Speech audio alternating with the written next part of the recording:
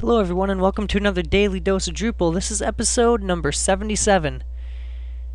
As always, I'm Shane. You can follow me on Twitter at smthomas3. You can also go to codekarate.com, check out the other Daily Dose of Drupal videos, sign up for the newsletter if you haven't already, and stay tuned for upcoming courses on Drupal and other web development things. Today, since it's the last day of 2012, we're going to go over something very simple but very useful for certain websites. And the module we're going to be going over today is the automated logout module. In fact, the, the trickiest part of this module is actually just choosing which version to use. As you can see, there's the 7.x-2.0-beta 1 version, which is the recommended release, but there's also the 7.x-4.0 version that's another other release. There's also the 4.x-dev, which is the version that I am using in this demo. I have tried uh, all of the or all three of the versions that are here for the 7, or at least the top three versions for Drupal 7, and I've been able to get all, been able to get all of them to work for uh, the just the simple situation of logging a user out after a specific set of time but you may need to, of course, try the ones out and figure out which works best. We're going to go ahead and get started with just a very simple example. I'll go ahead and log into my test site here. I already have the 4.x-dev module installed, so I will come into the auto logout settings. And you can see the configuration page is relatively straightforward. First, you're able to set the timeout in seconds. I'm going to set this to 60 so we can keep it nice and short.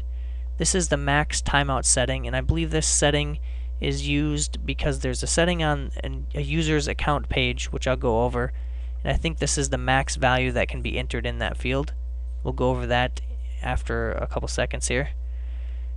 And the timeout padding is how many seconds to give a user after the nice little logout dialog window comes up warning the user they're about to be logged out. You can also set a role timeout, which is what I'm going to do.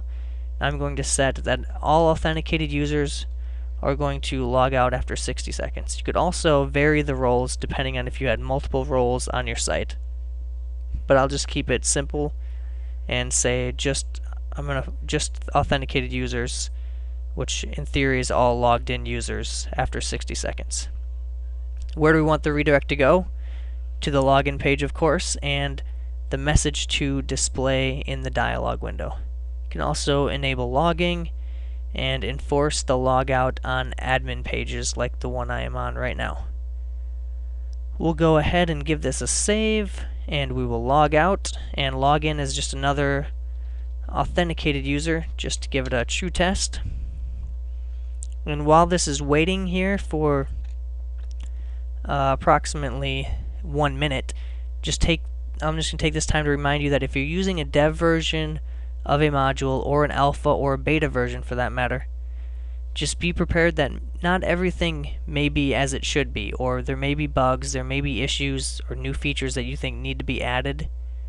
Just keep in mind that you should check the issue queue on Drupal.org and see if your issue or your problem or your feature has been requested. And you may, you may find a fix there, or you may have to post one yourself. Just make sure you're doing adequate research ahead of time before you are posting your own issues. And as I mentioned before, I've, I've been able to get all of the modules to all three versions that I tried to work.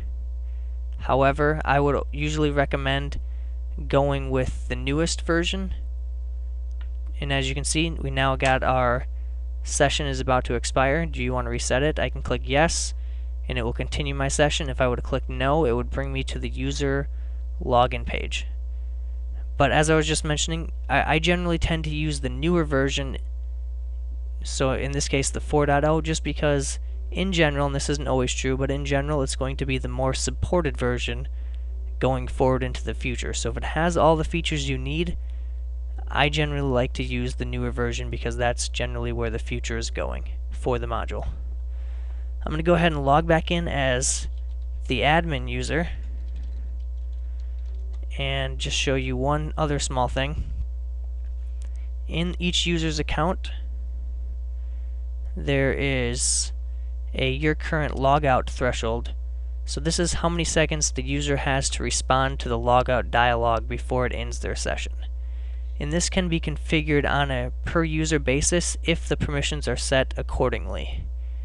So if you come into permissions, there's automated logout permissions. You can allow users to change their own logout threshold.